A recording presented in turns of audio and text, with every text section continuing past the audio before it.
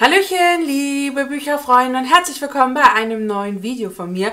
Wir werfen heute wieder einen Blick zurück in meine Bücherwoche und es war, so finde ich, doch eigentlich eine relativ gute Bücherwoche mit so einem Ausreißer mit einem abgebrochenen Hörbuch. Aber gut, das passiert immer mal wieder. Ähm, obwohl das Buch tatsächlich gar nicht so schlecht war, war es einfach nichts für mich. Das muss ich äh, ganz klar so sagen. Äh, ja, wie ihr seht, so ein bisschen Weihnachtsdeko ist bei mir schon eingezogen. Es ist ja jetzt im Grunde vor dem ersten Advent und ich habe mich hier schon in meinen äh, Dekorationskünsten versucht. Ich bin noch nicht ganz fertig zum jetzigen Zeitpunkt, aber ähm, ja, vielleicht folgen da ein paar Bilder auf Instagram oder sind vielleicht zum ersten, nein, der erste Advent ist ja jetzt noch davor, ne? Ja, äh, ich muss das kurz nachdenken, ja. Äh, es ist ja der Advent, erste Advent Samstag sozusagen. Hätte ich dann jetzt schon Rentierhauben aufsetzen können, müssen sollen? Nein, ich glaube, das will keiner sehen. Äh, ja, zudem habe ich eine Serie angeguckt, äh, Sinner. Ich habe äh, das letzte Woche schon erzählt, dass ich die zweite Staffel angefangen angefangen habe. Und ich war im Grunde zweimal, einmal in dieser Bücherwoche und dann im Grunde schon in der nächsten Bücherwoche, äh, ja, weil ich ja mal den Cut im Grunde Freitag mache und von Samstag äh, bis Freitag ist ja immer die nächste Bücherwoche, war ich sogar nochmal im Kino und es gab da ja auch schon ein Video von mir dazu. Aber dazu werde ich später auf jeden Fall noch ein bisschen was sagen. Ja, das ist, glaube ich, so die Woche. Äh, ja, das neue Album von Max Giesinger ist da. ja, finde ich auch geil. Ähm, ja, ich glaube, wir fangen jetzt einfach mit den Büchern an. Äh, ja, vier Bücher sind es diese Woche äh, geworden. Ich habe die Woche begonnen mit, mit 50 Euro um die Welt von Christopher Schacht. Ein Buch, das ich von einer Freundin ausgeliehen hatte, ihr das jetzt aber schon wieder zurückgegeben habe. Dementsprechend blende ich euch jetzt äh, nur das Cover ein. Dann habe ich von Michel Schrenk das neue Buch irgendwann vielleicht für immer gelesen. Und ähm, ja, nach wie vor Michel Schrenk äh, ja, kann in meinen Augen einfach ganz wunderbar schreiben. Das abgebrochene Hörbuch ist Becoming, meine Geschichte von Michelle Obama. Und da werden jetzt einige sagen, hä, wie, wieso hast du das abgebrochen? Ja, das äh, bedarf auf jeden Fall äh, Erklärungsbedarf beziehungsweise auch Redebedarf, denn mich würde da dann natürlich auch eure Meinung und eure Gedanken dazu interessieren. Und das letzte Buch, was ich weggesuchtet habe in der Woche, ist Giants, die letzte Schlacht von Sylvain Neuvelle. Der Abschluss der Trilogie um äh, ja, die Roboter, äh, die, ja, die wir im Grunde hier auf der Erde finden. Und äh, ich war so gespannt, so gehypt und ja, wie der dritte Teil war dann natürlich mehr. Ja, aber wir starten jetzt erstmal mit dem ersten Buch der Woche. Wir machen das ja immer schön der Reihe nach, äh, wie ich die Bücher im Grunde äh, beende. Mit 50 Euro um die Welt von Christopher Schacht. Ein Buch, das ich äh, ja eben von einer Freundin ausgeliehen bekommen habe, die doch sehr begeistert von diesem Buch war. Und wir hatten uns schon im Vorfeld ein bisschen über dieses Buch auch ausgetauscht, weil ich den Gedanken mit 50 Euro loszuziehen doch sehr spannend fand. Natürlich Randale. Äh, natürlich äh, hat er die Reise um die Welt, ich glaube, er war ja auch drei Jahre unterwegs, nicht nur mit den 50 Euro bestritten, äh, sondern er hat sich natürlich unterwegs auch Geld verdient. Aber alles so zu Beginn. Ja, wir hatten uns darüber ausgetauscht und ich mag ja so Abenteuer, Reisegeschichten gerade im Moment super gerne. Ich liebe den Weltwach-Podcast, wo es ja um nichts anderes geht und ähm, habe jetzt wirklich sehr viel dazu gehört und gelesen und ähm, ja, die Einblendung deswegen, weil wie gesagt, ich ihr das Buch auch direkt zurückgegeben habe. Ja, wir treffen hier auf Christopher.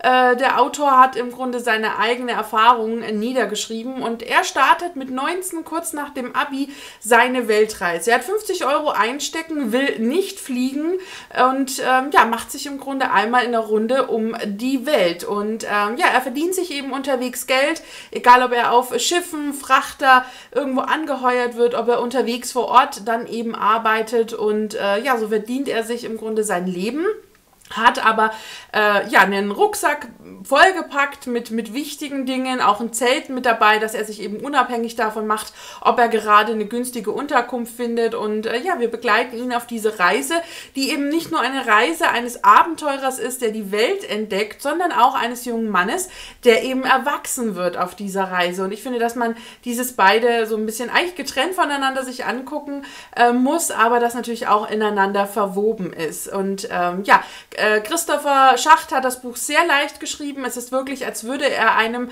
die Geschichte bei einem leckeren Abendessen erzählen. Er erzählt uns die einzelnen Stationen, äh, was für tolle Dinge ihm passieren, was er entdeckt, welche Völker er kennenlernt, äh, ja, welche Menschen er vor Ort kennenlernt, welche Gastfreundschaft er auch bekommt. Aber es läuft natürlich nicht immer alles nur gut, sondern er hat natürlich auch ein bisschen negative Erfahrungen. Zum einen mit Ländern, wo sich äh, während seiner Reise auf einmal die Einreisebedingungen ändern oder auch wenn Leute ihn dann eben einfach als Ausnutzer beschimpfen und er sich fragt, äh, warum. Also, äh, na, wenn er eine Leistung erbracht hat und dann Leute sagen, ja, eigentlich ähm, ja, lebst du hier auf Kosten anderer. Also es läuft nicht alles rund.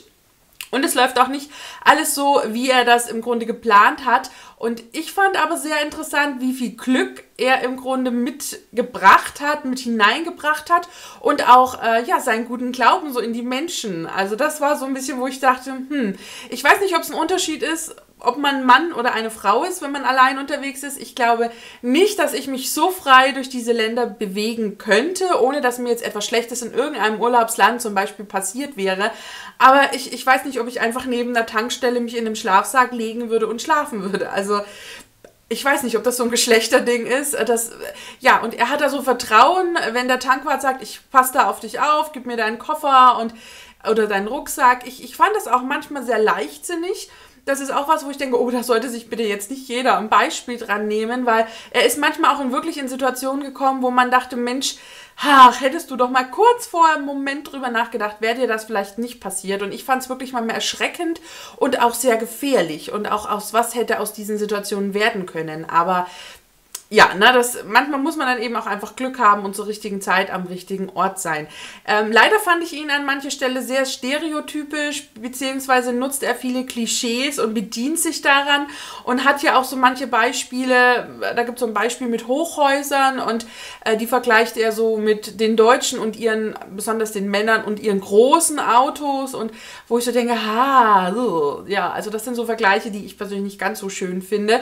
Allerdings besonders fand ich eben einfach, ähm, ja, wie offen er auf die Welt zugegangen ist und wie offen diese Welt ihm im Grunde zurückgestrahlt hat und auch welche Veränderung Christopher in diesen drei Jahren mitgemacht hat. Das fand ich beeindruckend, faszinierend und man merkt es auch im Art seines Schreibens, äh, das, was bei ihm passiert ist. Und ja, ich glaube, man entnimmt den Klappentext, dass er sich auch der Bibel widmet, er diese liest. Ich glaube, es ist auch eines der wenigen Bücher, die er überhaupt dabei hat. Man muss aber keine Angst haben, dass man jetzt hier irgendwie bekehrt wird oder er es sehr christlich angeht. Das ist überhaupt nicht der Fall, sondern er zieht manchmal einfach so ein bisschen Kraft raus, was ich durchaus mir vorstellen kann, weil Glaube versetzt eben sehr oft auch Berge. Und das fand ich tatsächlich sehr gut, dass das nicht so vordergründig war. Ich fand die Gedanken ganz nachvollziehbar und auch in Ordnung und äh, kann verstehen, dass man diese Gedanken hat. Also ich bin ja nicht grundsätzlich äh, komplett anti äh, irgendeiner Religion, sondern ich kann verstehen, dass Menschen ihren Glauben und ihren Sinn eben darin sehen und fand das dementsprechend auch gar nicht verkehrt und auch sehr äh, menschlich, wie er das rübergebracht hat. Also ich fand einfach diese Veränderungen, die er durchlaufen hat, das hat er super gemacht. Es war sehr lesenswert, es war flüssig, leicht, man war immer up to date, wo man irgendwie ist, äh, wann man irgendwie ist. Äh, natürlich auch so das Heimweh, äh, die Familie und auch einfach, äh, ja, was halt anders ist, was man dann irgendwie anders zu schätzen weiß. Und ähm, ja, spätestens am Ende äh, hat er mich komplett gecatcht und äh, ja, war ein gutes Buch, hat mir sehr gut gefallen und kann ich wirklich nur allen empfehlen, die mit 50 Euro einfach mal durch die Welt wollen. Und äh, gepickt natürlich auch mit ein paar Bildern. Äh, ich glaube, dass das definitiv der Vorteil vom echten Buch in dem Fall ist, dass man eben die Bilder äh, wunderschön greifbar hat, sehen kann, farbig sich auch ein Bild davon machen kann. Und äh, ja, deswegen war ich da auch ganz dankbar, dass ich das Buch in echter Form sozusagen lesen konnte. Ja, das nächste Buch ist dann das neue Buch von Michel Schrenk denke irgendwann vielleicht für immer. Ich liebe ja schon zwei, drei Jahre die Bücher von der lieben Michelle, wenn nicht gar länger. Immer wieder ist sie hier auf meinem Kanal sozusagen äh, vertreten und ich bin einfach ein Fan ihrer Liebes- und Lebensgeschichten und man kann in ihre Geschichten immer wieder so wunderbar reinfallen und das hat man auch äh, bei diesem Buch. Ja, wir treffen auf die junge Autorin Elena, die zur Beerdigung ihrer Best eines ihrer besten Freundes fährt und äh, die merkt, oh, das Leben kann manchmal viel schneller zu Ende sein, als äh, man es denkt. Und was man eigentlich noch alles tun wollte, bevor man dann eben eigentlich äh, ja gar nichts mehr tut. Und wie schwer es eigentlich für jemanden ist, das zu greifen, wenn man seinen besten Freund verliert. Äh, direkt im Anschluss reist sie zu ihrer Freundin in die Schweiz wenn es nicht Österreich war, das habe ich schon wieder verdrängt. Ich wollte mir den Merker noch machen, habe es jetzt aber schon wieder vergessen und auch leider nicht aufgeschrieben. Und äh, ja, dort äh, bleibt sie äh, ein paar Tage und möchte eigentlich auch einfach mal wieder zu sich kommen, Inspiration für ihre Geschichte suchen und eigentlich wieder ja versuchen an das Gute im Menschen und im Leben zu glauben. Ja, abends in der Disco trifft sie auf Jannis und beide merken, irgendwas verbindet sie. Sie haben irgendwie so einen Funken beieinander ausgelöst und sie sind irgendwie auf der gleichen Suche. Wissen zwar nicht wonach, aber sie gehören irgendwie, ja, passt das gerade. Und sie haben 72 Stunden füreinander, denn so lange bleibt Elena dort und äh, ja, die nutzen beide aus. Und beide stellen sich in dieser Zeit eben auch ganz wichtige Fragen was man im Leben will, ob das schon alles war, was da noch kommt, wie man sein Leben bewusster lebt und auch, ja, wie man sich eine Partnerschaft vorstellt, was der Partner eigentlich leisten soll, was man selbst zu geben bereit ist und ja, beide merken eben recht schnell, dass da doch irgendwie mehr sein muss. Aber ja, Elena ähm, ist äh, eben nicht sehr lange da und ähm, hat dann auch noch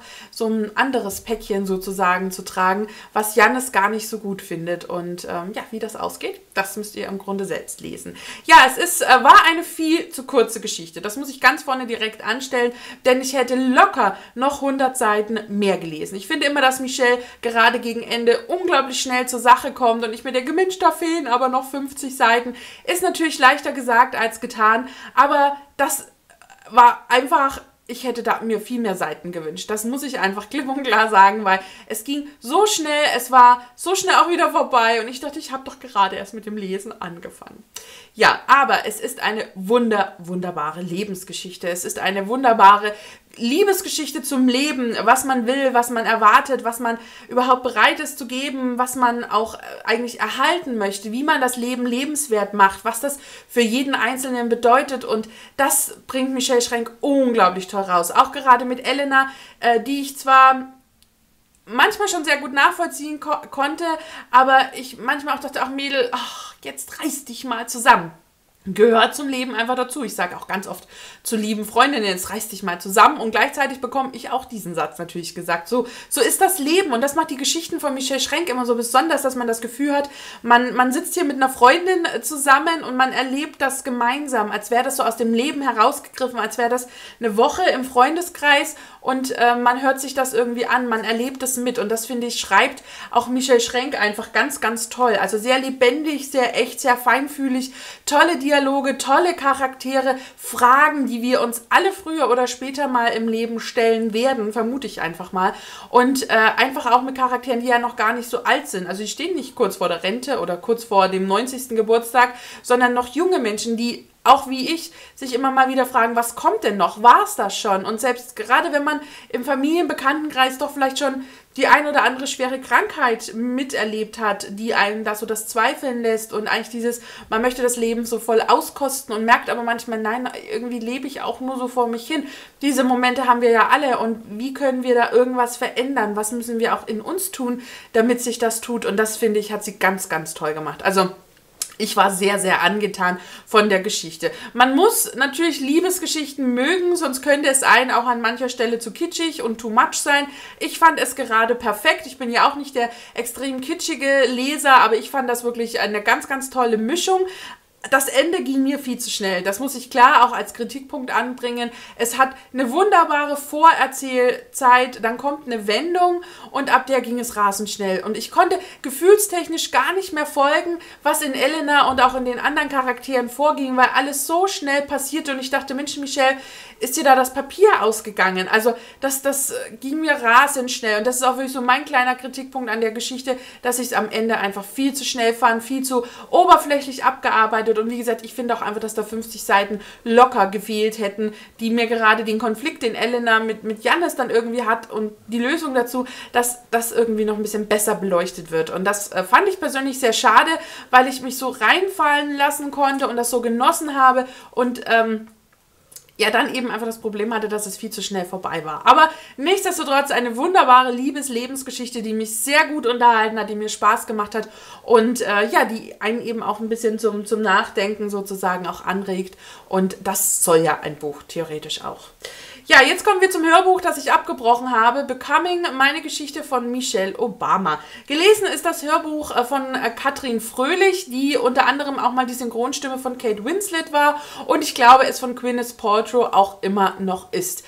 Ähm, zum Teil eben nur Kate Winslet, weil das nicht in allen Filmen der Fall ist. Irgendwann hat die ja auch ihre Synchronstimme gewechselt. Ich habe das Hörbuch nach circa einem Viertel, was in etwa so um die 150 Seiten entspricht, habe ich abgebrochen. Jetzt wird man sich fragen, warum? Ja, die Frage habe ich mir tatsächlich auch gestellt. Eigentlich habe ich mir die Frage gestellt, warum hörst du dir diese Geschichte eigentlich an?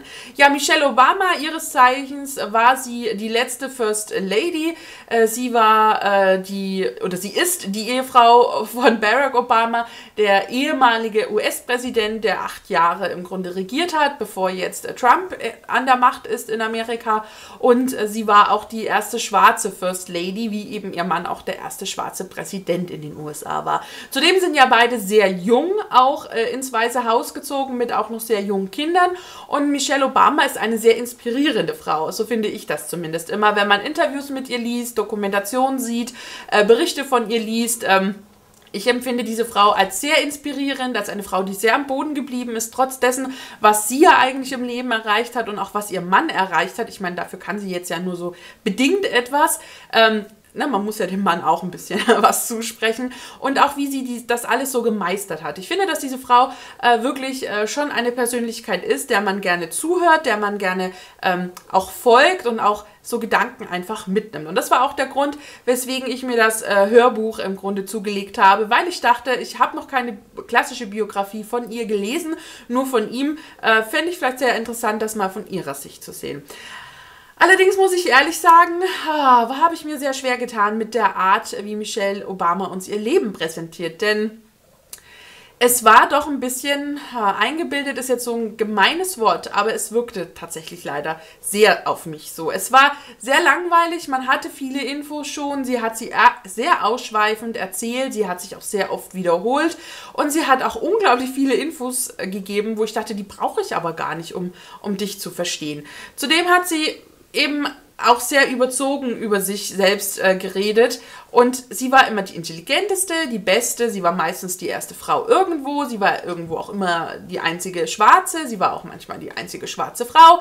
Und das wurde gefühlt ständig wiederholt. Und ja, natürlich ist sie das. Und ja, das ist auch wichtig, äh, dass es eben irgendwo mal zuerst eine Frau gab, die das gemacht hat. Auch wichtig, dass es eine schwarze Frau ist und überhaupt, dass, dass sie halt auch eine schwarze Person ist. Das ist wichtig und das muss auch betont werden, aber doch bitte nicht in jedem fünften Satz über alles, was sie mal getan hat. Sie lernte äh, Klavier spielen. Ja, sie war das erste schwarze Mädchen gefühlt. Sie äh, spielte auf der Straße. Ja, sie war das erste Mädchen, das das machte. Sie war auf dem College. Ja, da war sie auch die erste schwarze Frau. Und ich dachte mir so, ja, ich habe es jetzt schon verstanden. Also ja, ich kann verstehen, dass diese Message wichtig ist, dass diese Nachricht uns überzeugen soll und, und, und auch zeigen soll, dass eben früher alles anders war und was sie auch geleistet hat, eben als erste schwarze Frau, zum Beispiel einfach die First Lady von Amerika zu sein. Ich will ihr das gar nicht abstreiten, aber ja, ich fand es irgendwann sehr anstrengend. Also ich fand es, wo ich dachte, jetzt wird sie das gleich wieder sagen. Und schwupps, war der Satz wieder da. Und dann zehn Minuten weiter, ach ja, jetzt wird wieder der Vergleich kommen. Richtig, er war da. Ich fand das ja, und zudem hat sie sich auch kaum Ecken und Kanten gegeben, wo ich dachte, dass, wo ist denn hier der Esprit, wo ist die Leidenschaft, wo ist das Authentische dieser Frau, das ich sonst in, in, ja, in Interviews und, und, und Berichten, Dokumentationen von ihr gesehen habe. Wo ist die Frau, die eben auch einfach mal auf den Tisch haut und einfach mal ihrem Mann auch die Meinung sagt, was wir wissen, dass sie das getan hat. Spätestens, wenn wir seine Biografie gelesen haben. Wo ist diese Frau? Vielleicht kam die auch in den anderen drei Viertel der Geschichte. Das kann durchaus sein, dass, dass sie in meinem Abschnitt noch zu jung war. Aber ich, ich fand es irgendwann sehr langweilig. Ich fand es sehr monoton. Ich fand es überhaupt nicht inspirierend und ich fand es überhaupt nicht irgendwie spannend. Und ich dachte mir irgendwann, ach eigentlich, ob du die jetzt wahrscheinlich liest oder hörst oder nicht, ist wahrscheinlich egal. Und das war dann der Grund, weswegen ich es abgebrochen habe. Also die konnte mich nicht irgendwie triggern, nicht irgendwie an sich ranziehen, nicht an sich ranlassen. Und das finde ich eigentlich sehr schade, weil die Nachricht von, von einer schwarzen First Lady der USA, ich finde, die ist wichtig und die muss eigentlich die Welt hören oder lesen, aber nicht so überzogen, nicht so so glatt und nicht so oberflächlich. Irgendwie, ich weiß auch nicht. Meins war es leider nicht und ja, über schlechte Bücher. Es ist vielleicht gar nicht schlecht. Vielleicht hatte es noch nicht die richtige Zeit für mich. Und das letzte Buch der Woche war dann wieder ein absolutes Highlight. Und zwar ist es der dritte Teil aus der Giants-Reihe, die letzte Schlacht von Sylvain Neuvelle. Es ist der Abschluss äh, einer Trilogie. Es ist der dritte Teil, der im August 2016 begann. Und wir haben gefühlt jetzt wirklich jedes Jahr auf einen Band gewartet. Und es hat sich absolut gelohnt.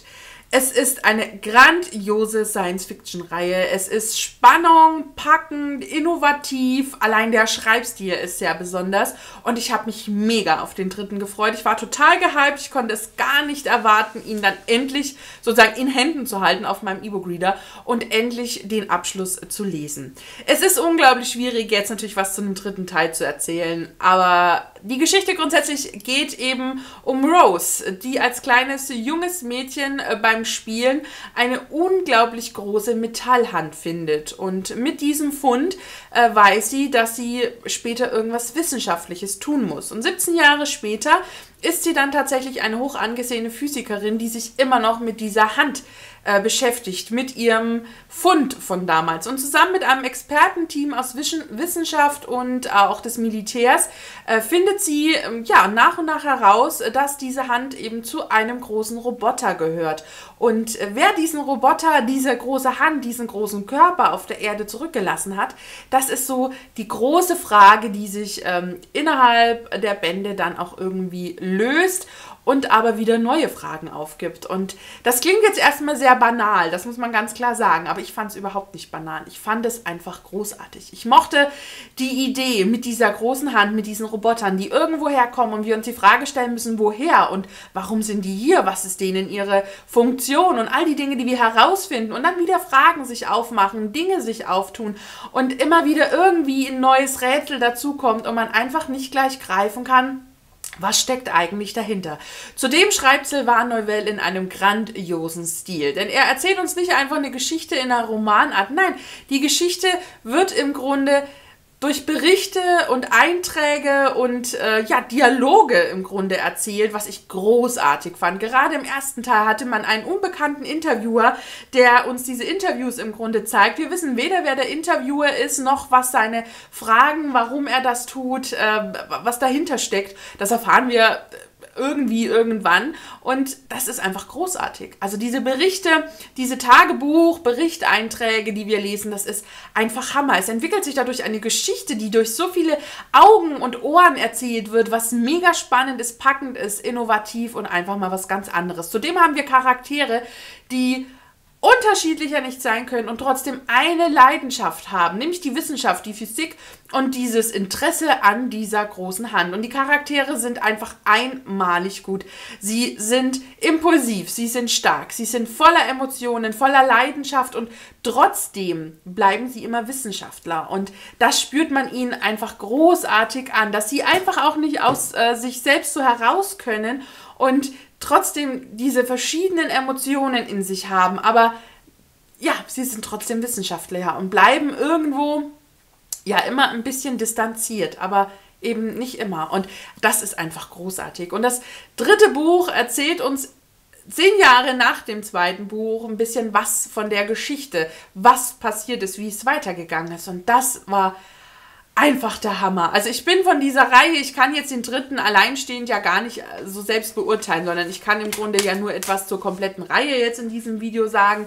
Und die fand ich einfach geil. Also ich weiß, dieses Wort mögen ja einige nicht. Ich empfand das einfach so. Sie war genial, sie war grandios, sie war großartig. Lauter Wörter mit G, ob das irgendeinen Zusammenhang hat ich fand sie einfach bombastisch gut und ich ähm, bin total fasziniert von dieser Idee, von dieser Art des Erzählens, die uns Sylvain Neuvel gebracht hat und ich, ich bin da ein absoluter Science-Fiction-Freak. Also ich, ich lese ja nicht durchgängig Science-Fiction. Ich glaube, das wäre mir äh, tatsächlich auch ein bisschen äh, zu anstrengend, aber immer mal wieder finde ich das wirklich großartig und auch in diesem Fall. Es ist eine bombastische Idee, es ist eine große Idee, es wartet da eine große Explosion auf uns im wahrsten wahrsten Sinne des Wortes. Und wir müssen einfach nur rangehen und sie lesen und sie genießen und sie auf uns wirken lassen. Und Dabei stellt man sich dann auch noch so viele Fragen zum, wer sind wir, was macht uns aus, wohin gehen wir, woher kommen wir? Und ähm, das alles wegen einer sehr, sehr großen metallenen Hand auf der Welt.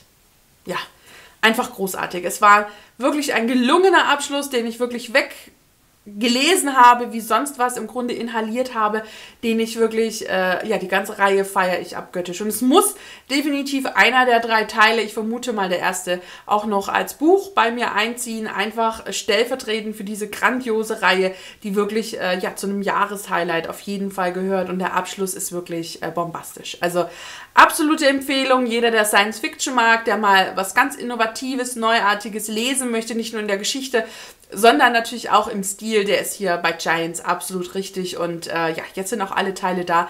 Jetzt könnt ihr das sozusagen auch in einem weglesen. Das mögen ja viele besonders gerne. Ja, nach den Büchern, die doch mit einer Ausnahme sehr, sehr gut und gelungen waren, habe ich auch ein bisschen Serie geguckt. Und zwar The Sinner. Die zweite Staffel ist auf Netflix äh, online gegangen. Die erste Staffel hat uns ja letztes Jahr gefühlt alle geflasht. Wir waren alle begeistert von dieser Thriller-Idee, die ursprünglich von Petra Hammesfahr kam. Und auch Jessica Biel hat ja absolut überzeugt. Die zweite Staffel bezieht sich nun nicht mehr auf ein Buch, äh, auf eine Geschichte, sondern wird in ähnlicher Art im Grunde wieder einen, wirft in ähnlicher Art einen Fall auf. Ähm, der einfach ähnlich ist, aber doch wieder ganz anders. Wir treffen wieder, äh, wir, nein, wir fangen anders an. Wir treffen auf einen Jungen, ich weiß gar nicht, wie alt wird Julian sein, 10, 11, 12, der mit seinen Eltern äh, ja, zu den Niagara-Fällen fährt. Wir erfahren gar nicht allzu viel über ihn oder seine Eltern. Ähm, ja, die haben dann jetzt eine Autopanne, müssen in einem Hotel, ähm, Motel äh, übernachten und äh, ja, dort tötet Julian seine Eltern. Und die Frage stellt sich jetzt, warum und wie und was ist da passiert, dass er das getan hat. Und es ruft Harry Ambrose auf, äh, ja, unter dem Polizisten Harry Ambrose auf den, ähm, auf den Pfad, nein, auf den, ihr wisst, was ich meine, auf den mir fehlt das Wort, äh, der auch im ersten Teil, im Grund, in der ersten Staffel äh, schon äh, der Polizist war und den Fall um Jessica Biel sozusagen gelöst hat. Und äh, ja, er geht jetzt der Sache nach. Und dort trifft er auf sehr viele Fragen, Hippie-Gruppierungen, ähm, ja, und, und, und muss sich die Frage stellen, warum tötete dieses Kind? Was hat das dazu gebracht? Und wenn ein Kind tötet, dann, dann ist das meistens nicht das Kind selbst. Das finde ich faszinierend. Das war ein sehr geiler Satz direkt, glaube ich, in der ersten Folge. Und ähm, es ist ein, ein, ein, eine Drama-Thriller-Serie, ich glaube mit acht Folgen, äh, die sehr spannend erzählt ist. Sie ist sehr düster, sie ist sehr dunkel, sie geht sehr unter die Haut, wie ich fand. Und ich fand auch die Schauspieler großartig. Ich liebe Bill Pullman. Bill Pullman? Pullman? Pullman? Pullman? Ja, als Harry Ambrose, der mich sehr an äh, Robin Williams aus Goodwill Hunting erinnert. Diese gleiche Mimik und wie der Mund verzogen wird. Faszinierend, wie ähnlich das ist. Ich mochte Vera, eine Neben-mit-Hauptcharakterin, die von Gary Kuhn gespielt wird. Wirklich großartig. Die Frau kannte ich auch irgendwoher. Ich kam noch nicht drauf, wozu. Äh, woher. Und ich fand Julian, den Jungen, gespielt von Elisha Henning, fand ich auch Hammer.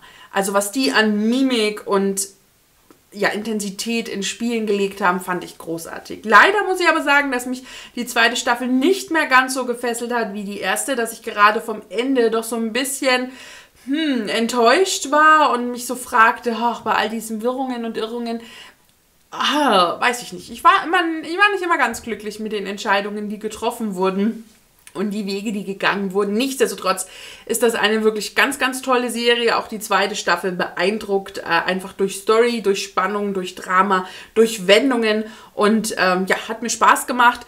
Aber im Vergleich war die erste Staffel, vielleicht weil sie auch einfach überraschender war. Ähm, man hat ja in der zweiten Staffel schon irgendwie gewusst, in welche Richtung diese erzählte Geschichte gehen kann. Also so den Grundtenor kannte man ja schon. Und das hatte man natürlich im ersten Teil nicht, da war man überrascht. Aber ich fand es gut, es war auf jeden Fall sehenswert und jeder der Thriller, Drama, Düsternis mag und äh, auch nicht davor abschreckt, dass da ein Kind im Grunde jemanden umbringt, was ich schon ganz schön heavy fand, ähm, ja, der sollte da einfach mal auf Netflix schalten und sich das einfach mal anschauen.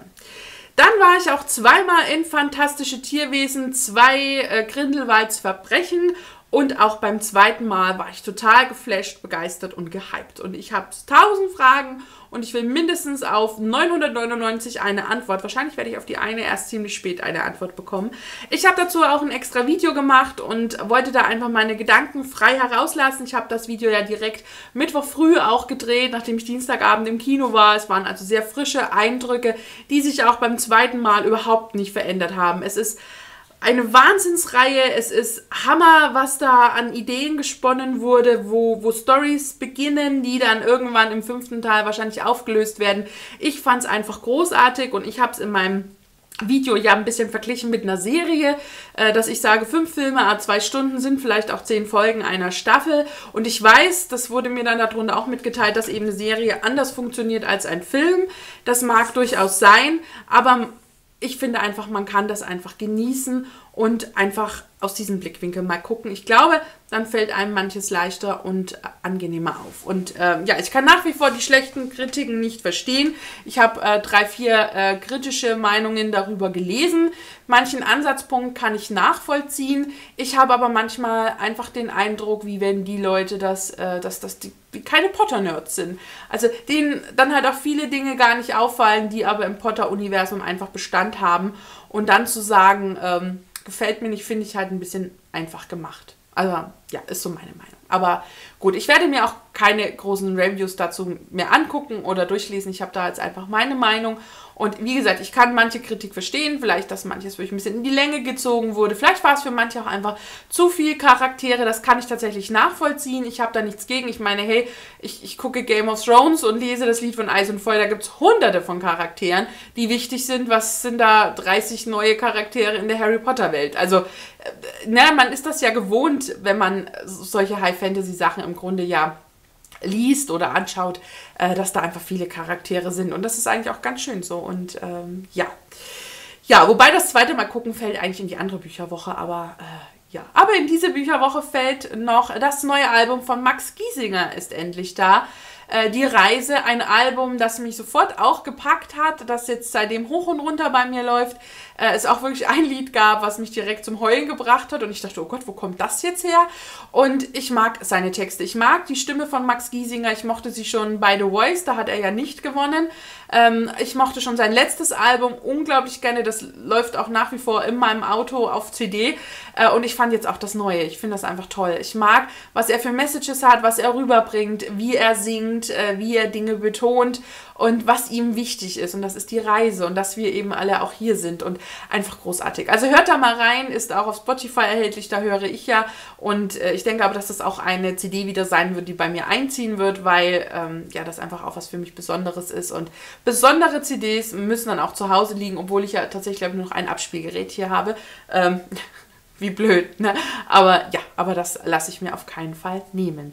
Ja, ich glaube, das war es so im Groben auch. Wir haben ja noch den neuen Musso angefangen in der Woche. Den beende ich jetzt ja aber erst in dieser Bücherwoche.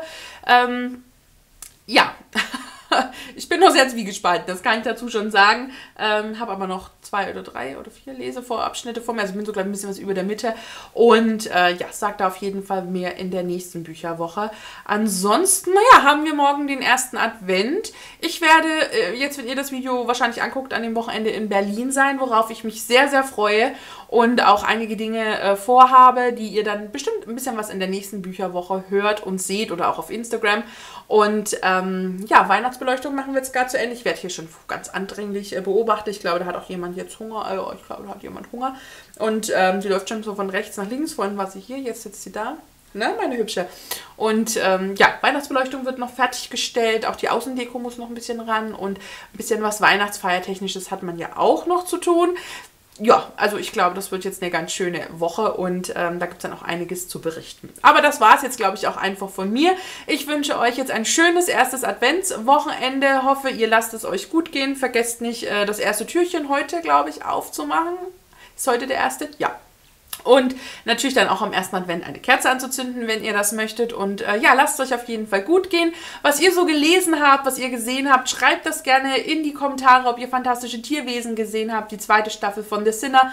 Alles in die Kommentare, vielleicht auch irgendwie ein Highlight der letzten Tage, Wochen von euch. Würde ich mich auch sehr, sehr über den Austausch freuen. Und jetzt habe ich, glaube ich, genug gequatscht. Alle Infos zu den Büchern natürlich auch unten in der Infobox. Und ähm, ja, ich habe nichts vergessen. Ich danke euch jetzt fürs Zusehen, wünsche euch noch einen schönen Tag, einen schönen Abend und bis bis zum nächsten Video. Macht's gut. Tschüss, eure Steffi.